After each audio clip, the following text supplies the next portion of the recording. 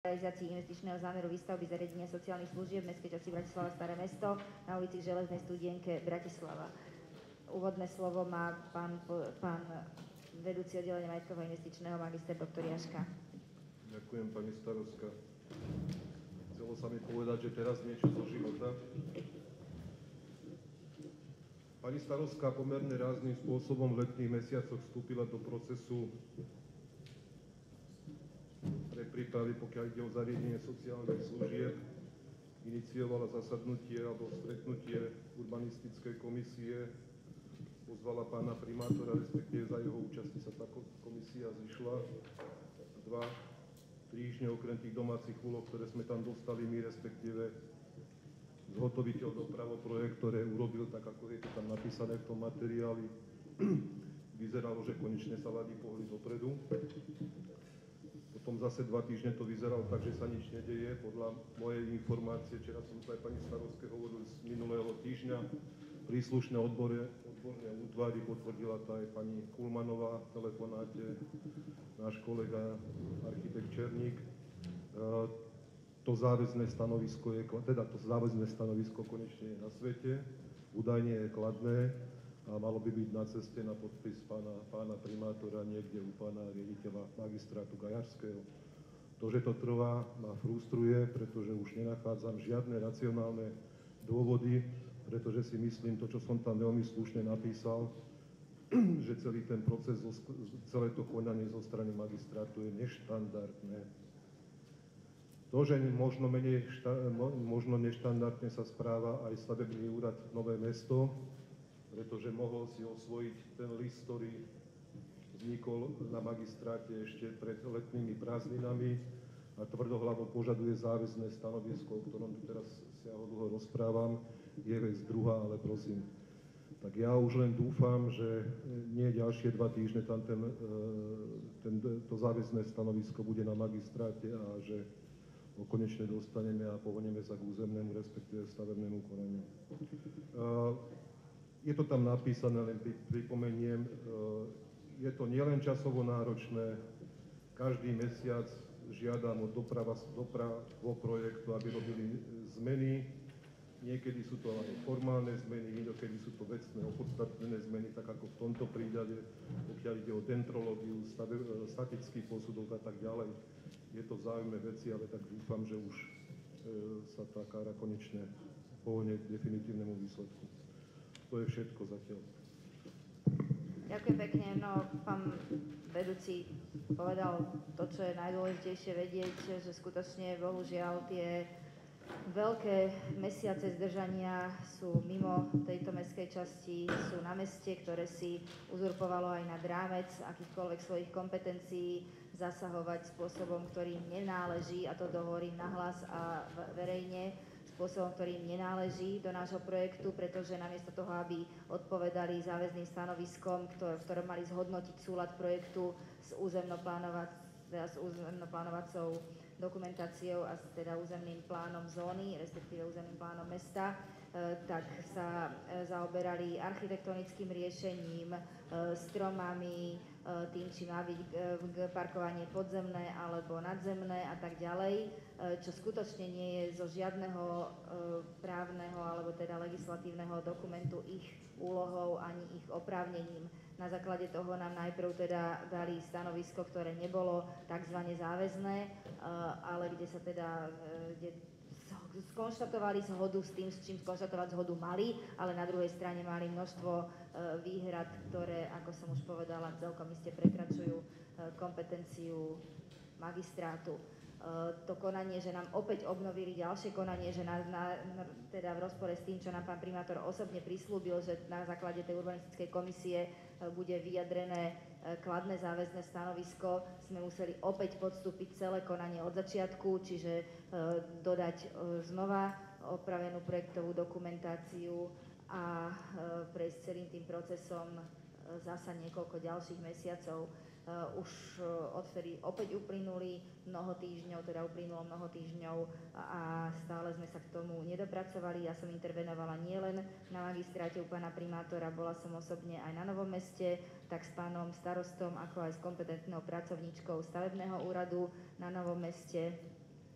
ale bolo skonštatované, akým spôsobom to nakoniec uchopili. E, aktivity, ktoré sa dejú, smerujú k tomu, aby keď budeme e, mať už konečne k dispozícii potrebné povolenia, teda územné rozhodnutie, stavebné rozhodnutie. Vedeli sme začať s realizáciou, to znamená, aby bol ten terén aspoň vyčistený za ten čas, aby e, sme už mali, dá sa povedať, obrazne povedané, zelenú lúku a aby teda sme nezdržiavali stavebné práce potom ďalšími predbežnými prácami, aby sme ich vykonali predtým.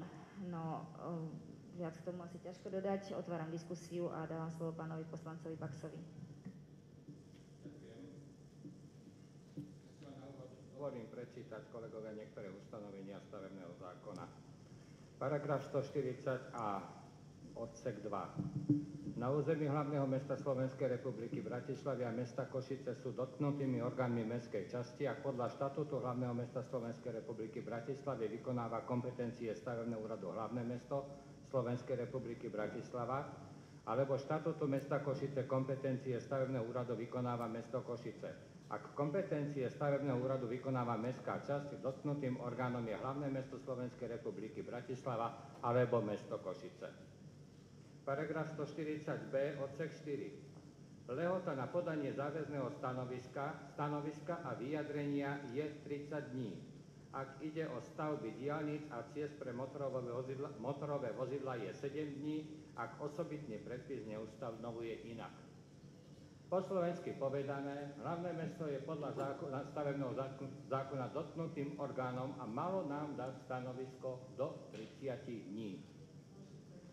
Na meste možno, že majú iný kalendár, je to celkom možné. Neviem, či si na to schválili nejaké všeobecne záväzné nariadenie, že pre účely činnosti hlavného mesta ako dotknutého orgánov platia nejaké iné dĺžky mesiacov a podobne. Neviem.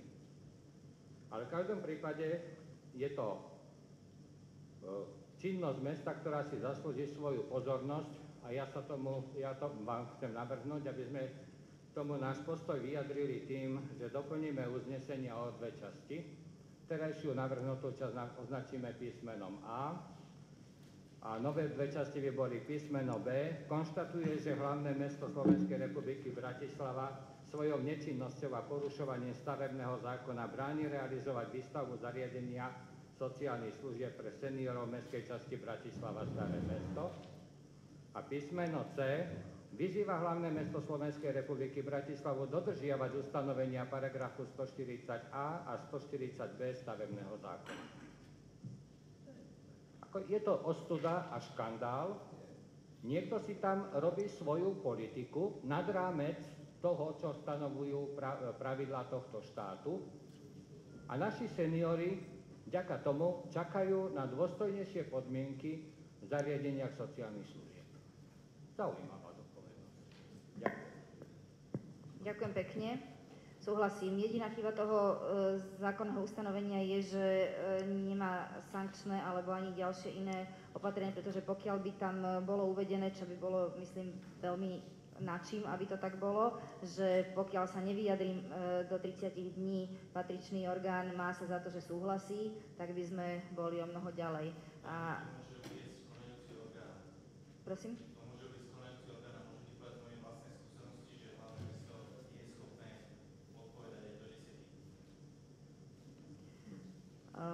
V každom prípade máme tu prípady, keď na záväzné stanovisko hlavného mesta čakajú niektorí investori 5 rokov, v tejto chvíli 5 rokov. Pán poslanec Holčík, nech sa páči. Tuto pán kolega navrhol dva body, ktoré by sme mali odhlasovať, ale hovoríme o materiáli, ktorá sa volá informácia. Ale v uznesení, samozrejme uznesení môžeme odhlasovať to, čo navrhnú poslanci, pokiaľ to odhlasujú.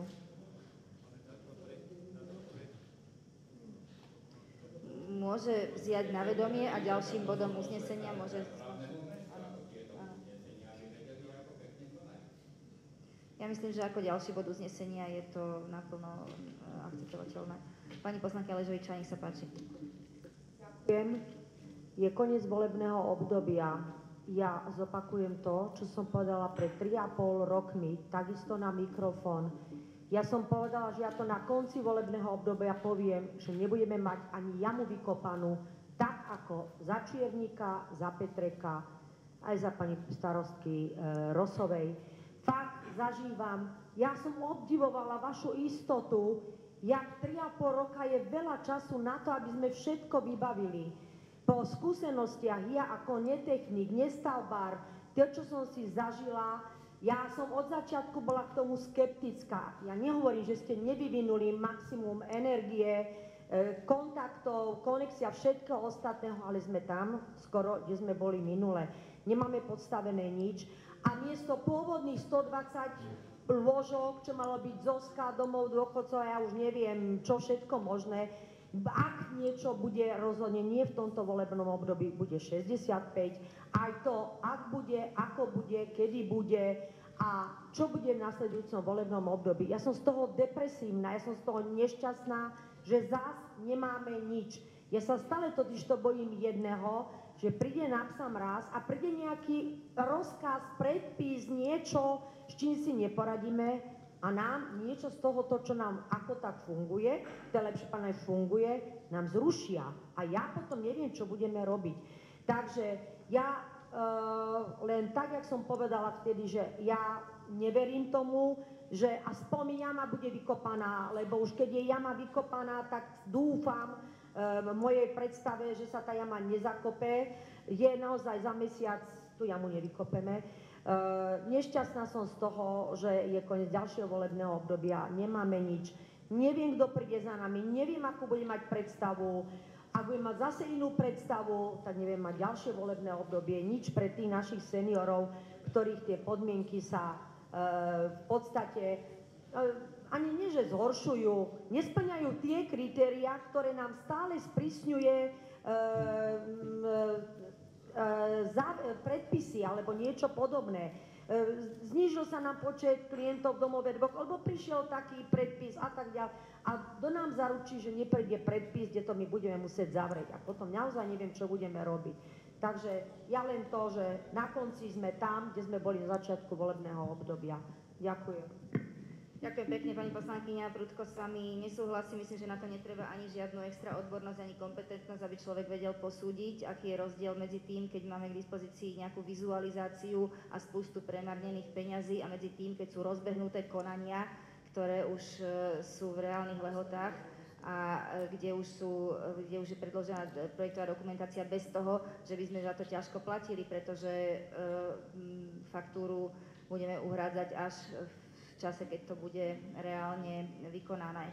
Takže ten rozdiel je obrovský. Samozrejme, nepodarilo sa to, nie je to Čiastočne je to chybou, treba povedať, aj e, nášho úradu v tej prvej etape, keď sme stratili veľa času, e, aj tým, že sme sa, aspoň ja za seba poviem, že som sa učila, že som naozaj e, nebola až tak oboznámená s priebehom stavebného konania, inak by som nebola dopustila, aby sme začínali nejakou e, štúdiou, e, ktorá nebola opretá o územnoplánovaciu dokumentáciu. E, dnes by som to celkom iste vedela vyhodnotiť inakšie a v tom vidím možno nejaké tie rizika, že aby sa tá kontinuita zachovala v tom, čo sme sa tu naučili aj vďaka tomuto projektu a všetkým komplikáciám, ktoré sú si spojené. A ďalšia otázka, alebo ďalšie poučenie, ktoré z toho vyplýva pre všetkých, ktorí sú v Bratislave v mestskej komunálnej politike, je to rozdelenie kompetencií medzi mestom a mestskými časťami a spôsob e, spolupráce a spôsob fungovania e, mesta a mestských častí, čo je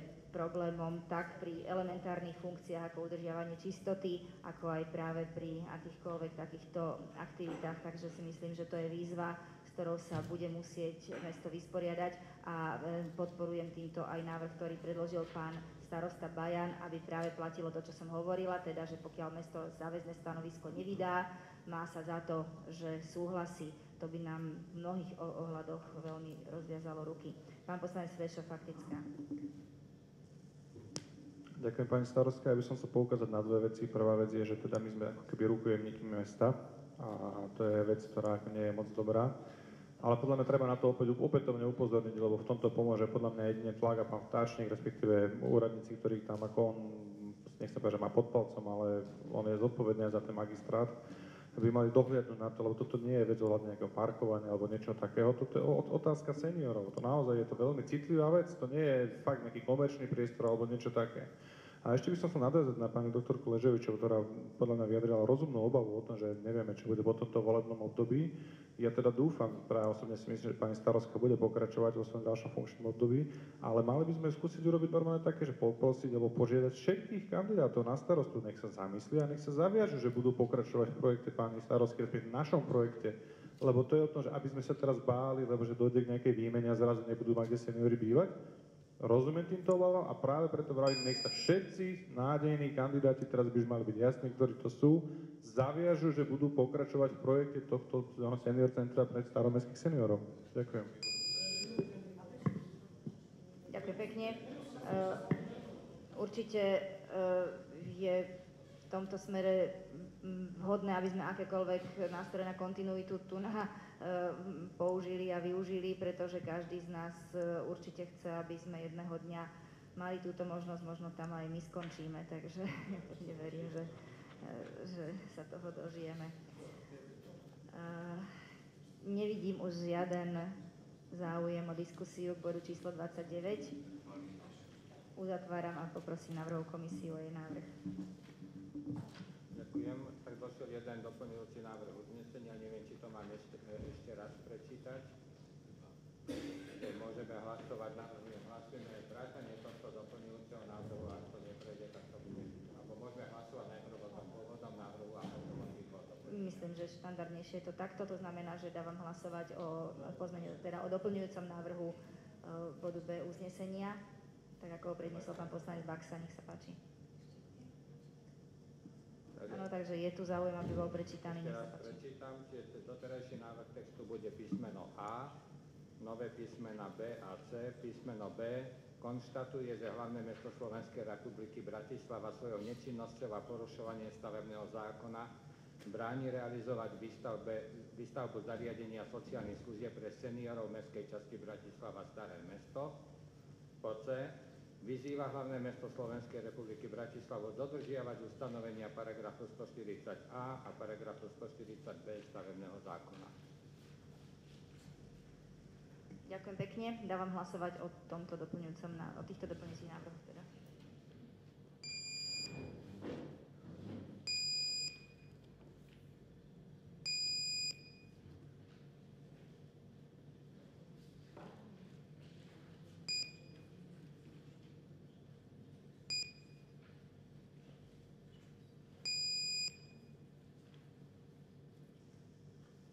Ďakujem. Konštatujem, že z 12 prítomných poslancov a poslanky traja nehlasovali, jeden sa zdržal a 8 hlasovali za, takže uznesenie, teraz respektíve návrh pána poslanca Baxu bol schválený a prosím, aby ste teraz hlasovali o uznesení ako celku vrátanie tohto návrhu. Prosím, hlasujte.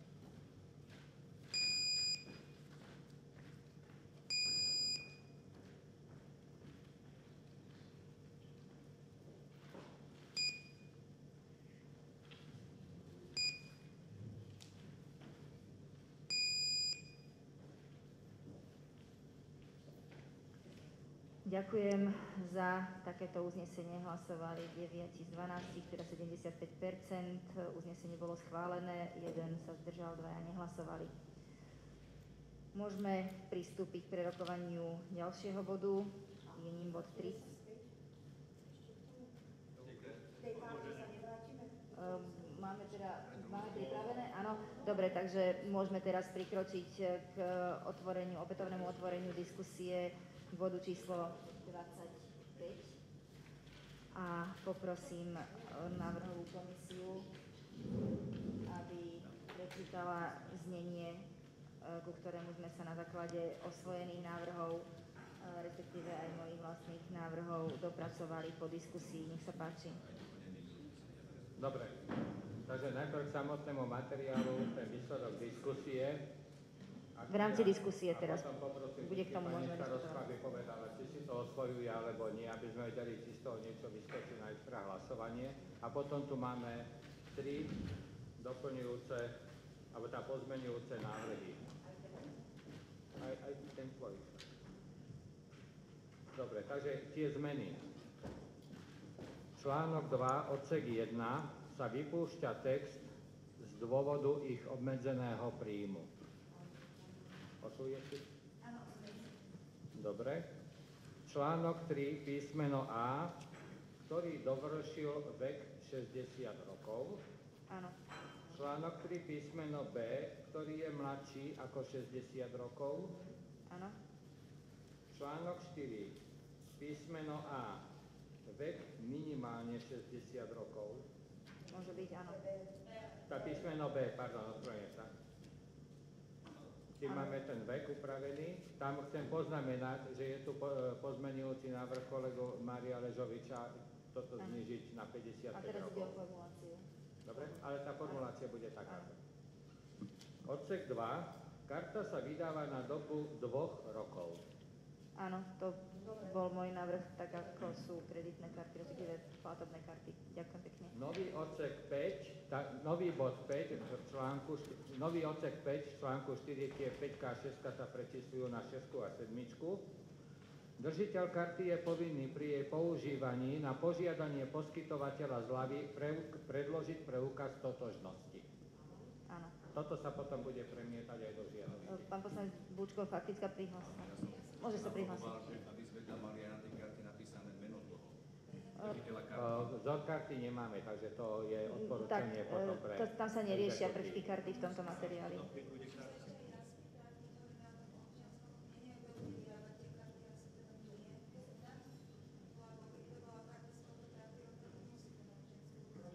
O tom bola diskusia. Ako, ja, prepačte, ja to tak poviem, že tento, tieto zásady je prvý nástroj, ktorý sa v priebehu pol roka bude asi upresňovať na základe tej praxe, ktorá sa tu nám ukáže. Je možné, že sa prikloním potom aj k fotografiám a tak ďalej. Čiže zatiaľ to asi zostáva takto.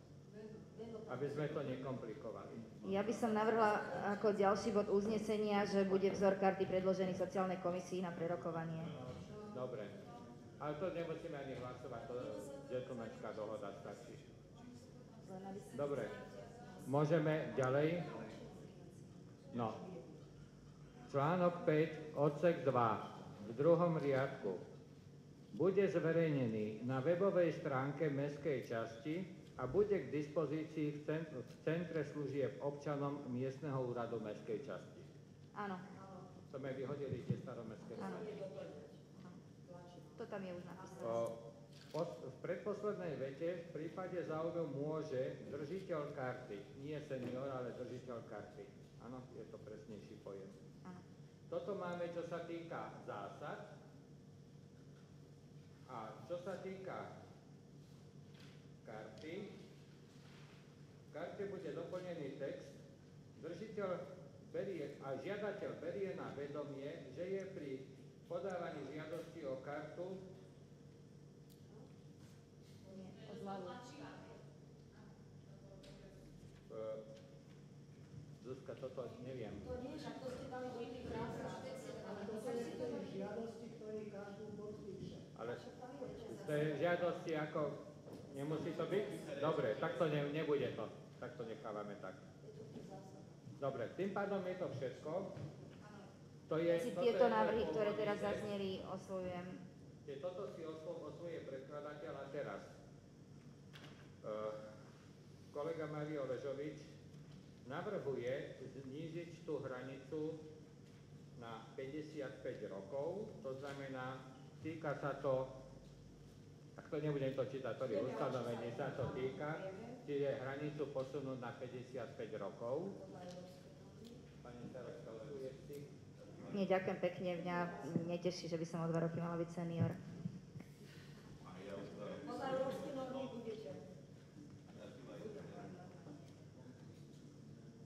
Čiže toto je jeden návrh pozmenujúci, druhý návrh pozmenujúci kolegu Ležoviča je v článku 1 odsek 2 za, sa nahradiť slovo bezplatne textom za poplatok 3 eurá.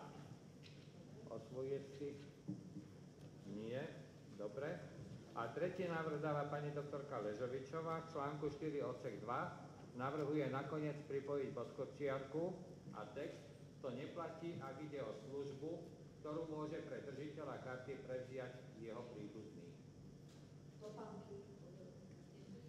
Nie tovar, službu. Dobre, čiže... Ak je to príslužbu pre toho držiteľa karty prevziať, to je parotňa. To by bola parotňa. iba. Keď schodí do banky, tak pôjde do Takže ako môžeme, ja by som navrhol dať hlasovať. Dobre, takže dávame hlasovať. Áno? Ešte diskusia nie je uzatvorená, takže e, to boli návrhy, ku ktorým ešte je možné diskutovať. S faktickou sa prihlásil pán zástupca Krta. Ďakujem pekne. No, pri tej diskusie, čo bola predtým Petrov, tak ja som si tu všimol e, v článku 5 poskytovanie zliav 20 z plnej sumy Staromestská knižnica, Staromestské centrum kultúry a vzdelávania a podujatia organizované mestskou časťou. Ja sa chcem spýtať, podujatia organizované mestskou časťou sú napríklad vianočné trhy, vinné trhy. Bude, bude sa to týkať aj, mm, keď si niekto bude kupovať stravu alebo? Alebo... Správnejšie bolo vstupné na podujatia. Vstupné na podujatia organizované mestskou časťou. To znamená, že logicky ide o tie, kde sa vyberá vstupné.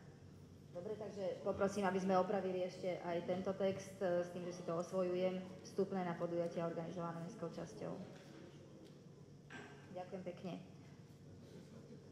E, Takže slovo dávam faktickou poznámkou pani poslanky Babčanovej. Ja som chcela, chcela k tomu, čo hovorila Halka Ležovičová, ako ona v podstate má pravdu, lebo ak to má byť benefit pre každého dôchodcu alebo senioru a je niekto naozaj lôžkový alebo má nejaký problém, s, že nemôže chodiť, podľa mňa by sme ako mestská časť mohli do toho zapracovať, že k tej karte toho konkrétneho seniora, ktorý naozaj fyzicky nemôže všetky tie služby absolvovať, treba opravu týchto pánok alebo ja neviem, pranie bielizne, že by dostal potvrdenie od nás, kde bude napísaný jeden člen rodiny, ktorý za ňou s tou kartou môže ísť. A to je naozaj len jedno tlačivo, ktoré sa dá v podstate vyplniť, ja neviem, zalaminovať a už to ten, ja neviem, vnúk, syn alebo kto má. Aby sa to nezneužívalo, lebo tam by boli všetky jeho údaje. Ďakujem pekne. Ja si myslím, že toto samozrejme je relevantné, aby sme niečo takéto riešili, ale že to sú presne tie otázky, ktoré prinesie život a ktoré potom e, určite doplníme. Zatiaľ ešte nevieme, aké služby vieme poskytovať, takže ešte by som to teraz neriešila. Samozrejme, tak oprava obuvy, asi keď niekto schodí do panky, tak už si po ne vie aj prísť, ale, ale isté, že sú aj iné služby. E,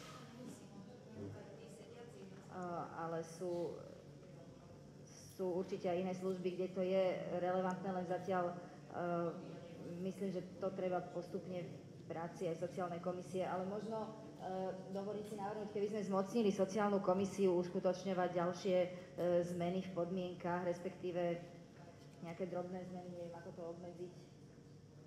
Nejaké... Ale nie je to problém, lebo však mesiac to vydrží. Áno.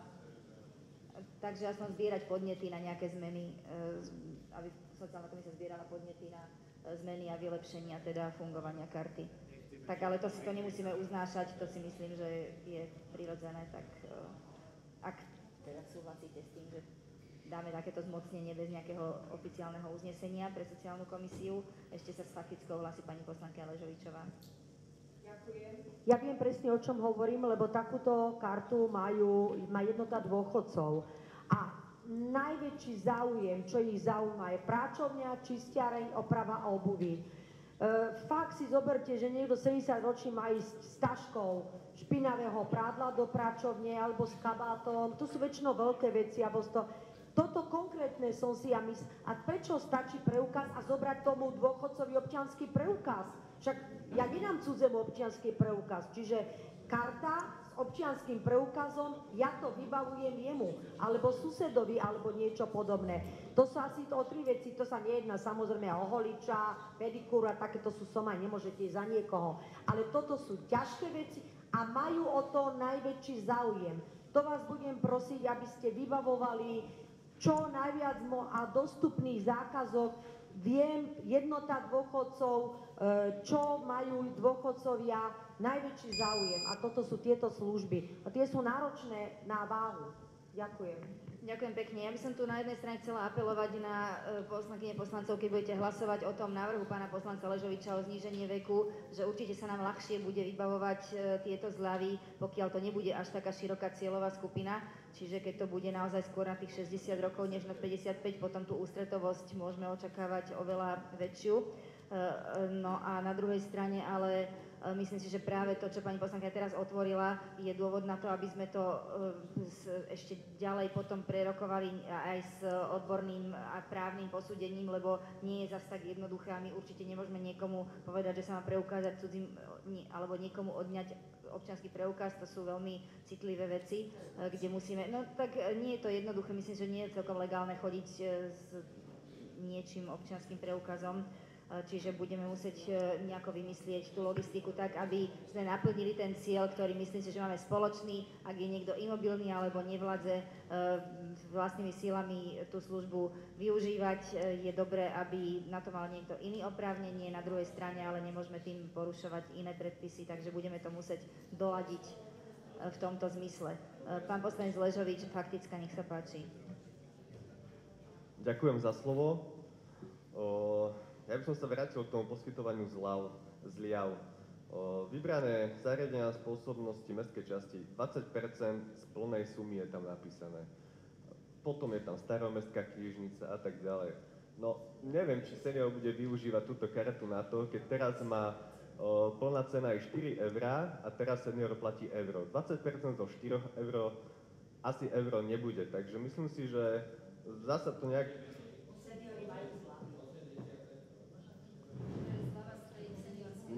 Nie, tu je napísané 20% z plnej sumy.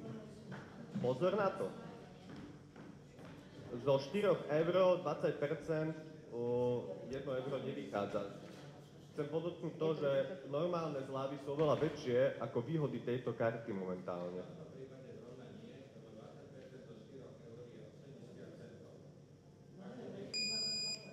ale 3,20 zaplatí a teraz má, no, myslím, že už som sa tiež dal na správnu rovinu. Takže tak nejak možno, že znova prepočítať a teda tie nejak veci, že nakoľko sa oplatí tomu seniorovi vôbec tá karta, alebo to tam nedávať radšej. Ďakujem.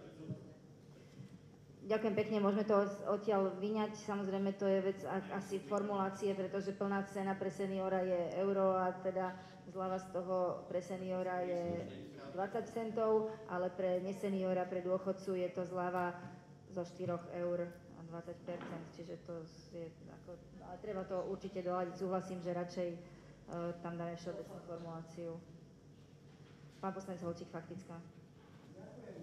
ako advokátius diaboli a skoro to vyzerá ako vtip. Ak bude mať niekto túto našu kartu a ešte tú kartu, čo povedala pani doktorka Ležovičová, bude mať dva razy zľavu? No veď... Ja viem. No však áno. Ale môžeš mať obidve karty. Nedá sa kumulovať. Určite nie, závisí to na, na poskytovateľovi záleží. Ale je dobré, aby sme to v zmluve s poskytovateľom mali uvedené. To je určite dobré, aby sme... Dobre. Myslím, že na toto bude naozaj často vyhodnotiť. No, asi sa pán, pán vedúci právneho oddelenia ešte k tomuto zrejme chce zaviať nech sa páči.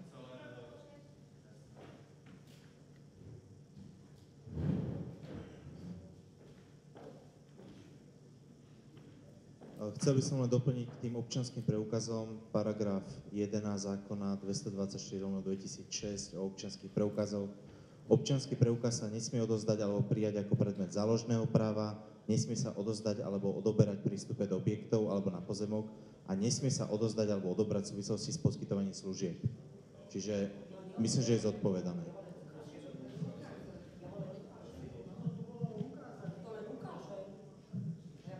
O, V rámci debaty tu bolo, že babička dá svoj občianský preukaz vnúčikovi a pôjde niekam mimo.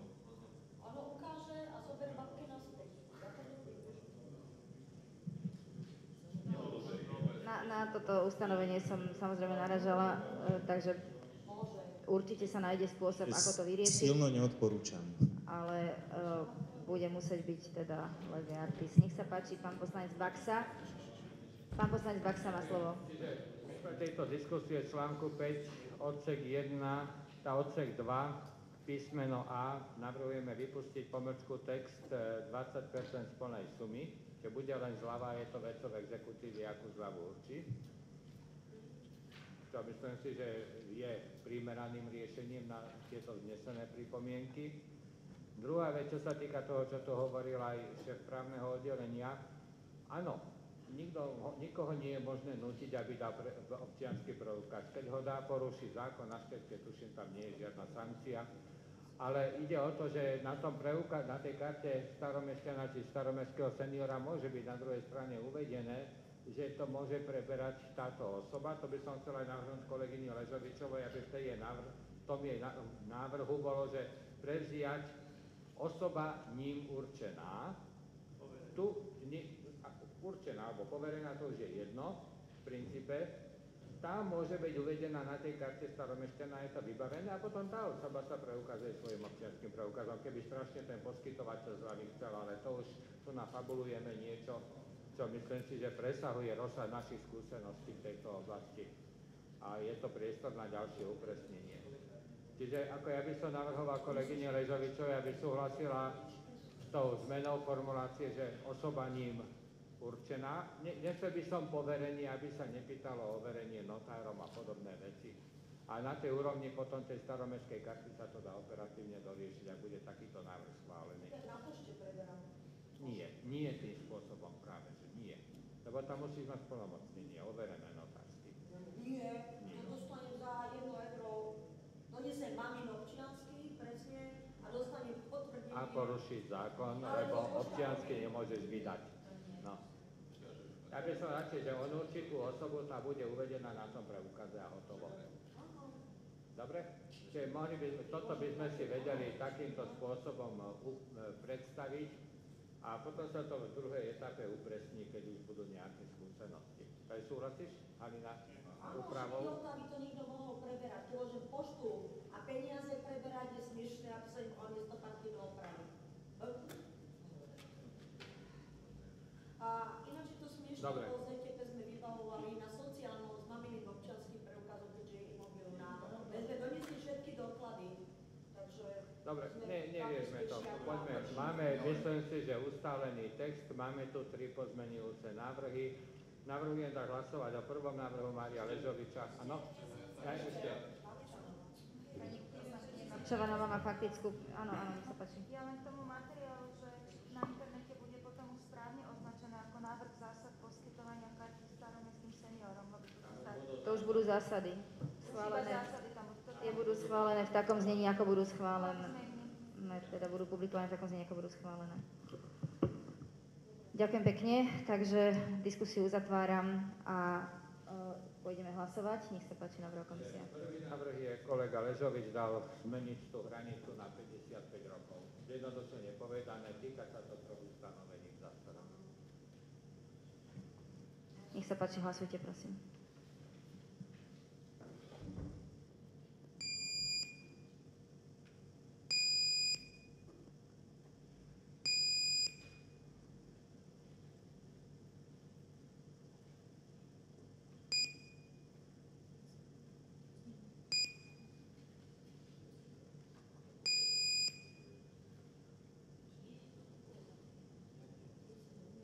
Ďakujem pekne. Konštatujem, že za tento návrh hlasovalo 5 z 12 prítomných členov miestneho zastupiteľstva. Návrh nebol schválený. Môžeme hlasovať ďalej. Poprosím návrhovú komisiu. Ďakujem. Druhý návrh kolega Ležovič navrhuje v článku 1 odsek 2 za slovo bezplatne, tá slovo bezplatne nahradiť textom za poplatok 3 eurá. Hlasujte, prosím.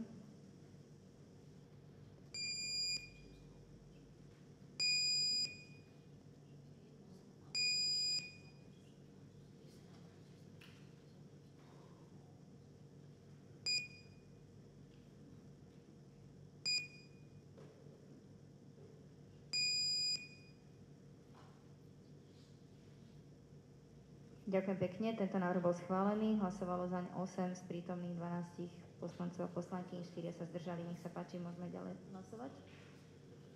Ďakujem. Tretí návrh kolegyňa Ležovičová. článku 4 odsek 2 nakoniec sa pripojí podkočiarka a text. To neplatí, ak ide o službu, ktorú môže pre držiteľa karty prevziať osoba ním určená. Takže prosím, hlasujte.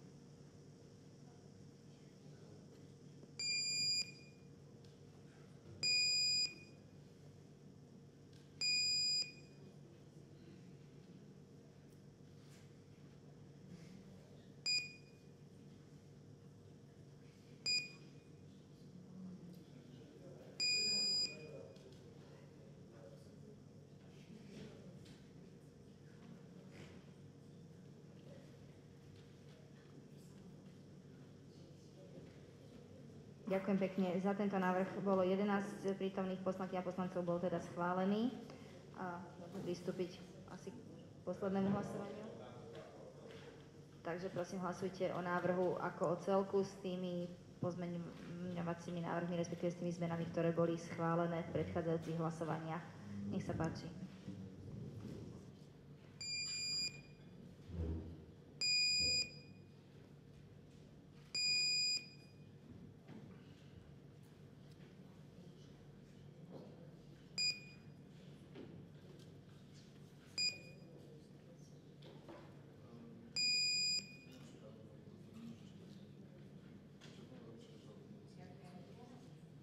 Ďakujem, tento návrh e, bol jednomyselne schválený. Takže potom, ako sme ukončili rokovanie o bode 20